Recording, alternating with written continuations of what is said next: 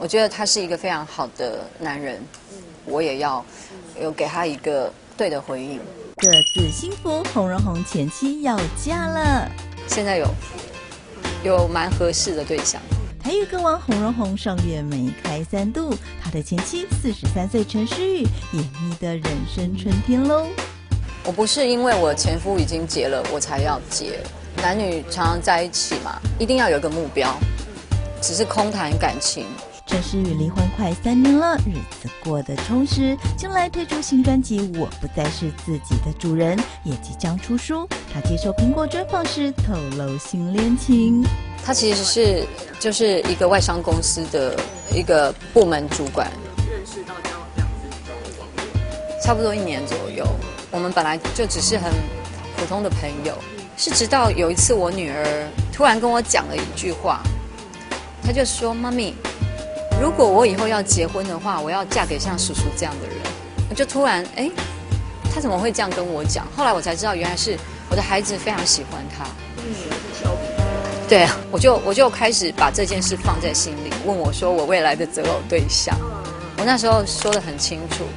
就是一定不能大超过我六岁，不能小超过我六岁，然后要一百八十公分。结果他正好就是大我六岁，然后也正好一百八十公分。陈诗雨大的男友天心，日前他住台南的父亲半夜送急诊，男友陪他开车南下，隔天独自搭高铁北上工作。等陈爸病情稳定后，男友在南下陪他开车回台北。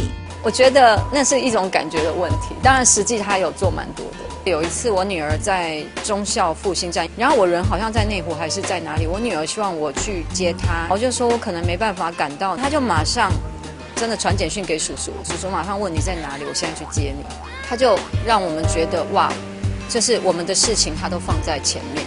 不过，就当陈旭和男友甜蜜约会时，却狭路相逢。上个礼拜某一天，我忘记哪一天，我跟我的男朋友去看电影，他跟他的太太带着我们家老大跟老三去看电影，我儿子就马上 send 一个简讯给我，告诉我说：“妈咪。”我们在同一个建筑物里面，我就说哦，没问题的。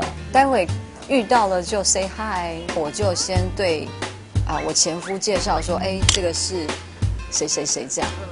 然后我男朋友就过去跟我前夫握手，洪大哥就就跟他太太说，哎，这个是诗雨。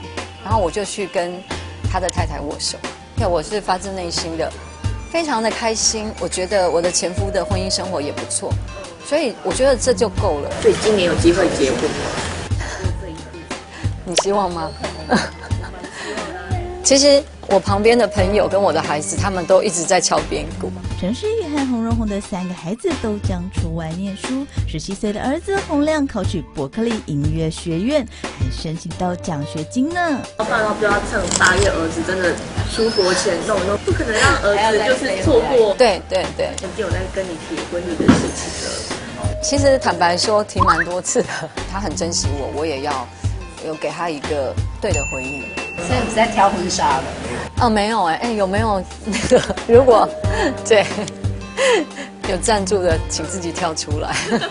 娱乐动新闻。呃，如果真的有婚纱公司觉得我的我的形象不错啊，对不对？我觉得觉得我的身材不错，欢迎你们来找我。报道。